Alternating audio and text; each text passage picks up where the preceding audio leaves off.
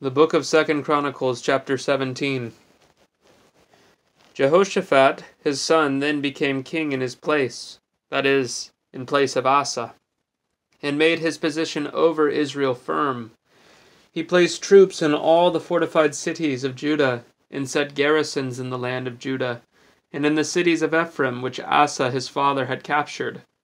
The Lord was with Je- Jehoshaphat because he followed the example of his father David's earlier days and did not seek the Baals, but sought the God of his father, followed his commandments, and did not act as Israel did.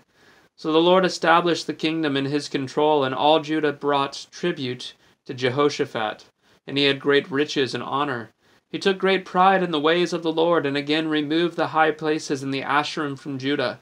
Then in the third year of his reign he sent his officials, Ben-Hail, Obadiah, Zechariah, Nethanel, and Micaiah, to teach in the cities of Judah.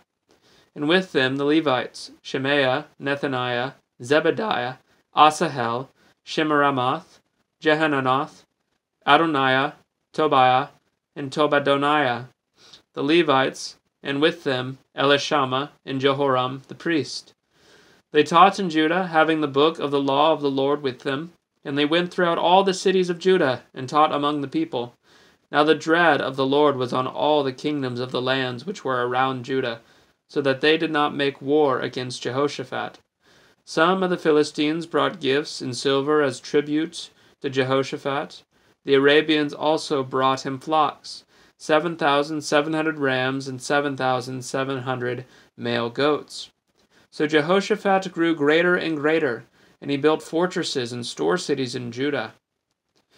He had large supplies in the cities of Judah, and warriors, valiant men, in Jerusalem.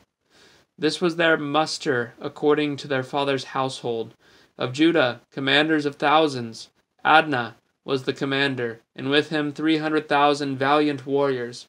And next to him was Johanan, the commander, and with him two hundred and eighty thousand and next to him Amasiah the son of Zichri, who volunteered for the Lord, and with him two hundred thousand valiant warriors, and of Benjamin Eliada, a valiant warrior, and with him two hundred thousand armed with bow and shield, and next to him Jehozabad, and with him one hundred and eighty thousand equipped for war.